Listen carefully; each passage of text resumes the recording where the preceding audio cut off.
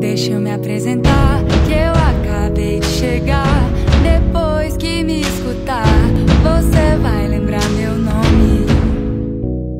Oi, eu sou Júlia Oliveira, sou representante do bairro Diniz 2 e candidata à Rainha das Rosas 2022. Como meu segundo lar. Foi aqui que eu passei mais da metade da minha infância. Aqui mora toda a minha família materna. Meu avô foi um dos primeiros a abrir mercearia aqui.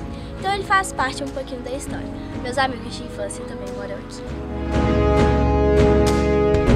Meu sentimento por Barbacena é de esperança. Esperança de dias melhores, de mais empregos. Apesar de Barbacena não ser uma cidade tão pequena, ainda é uma cidade bastante acolhedora e eu amo essa cidade. Meu maior sonho é poder retribuir tudo que meus pais, familiares e amigos fazem por mim. E também poder representar essa cidade que eu amo tanto. Eu quero ser a Rainha das Rosas, pois em 2013 foi a primeira vez que eu pisei em uma passarela. E foi na Festa das Rosas. E agora, com mais maturidade, eu acho que eu consigo levar a história tão rica e tão linda de Barbacena para mais barbacenenses.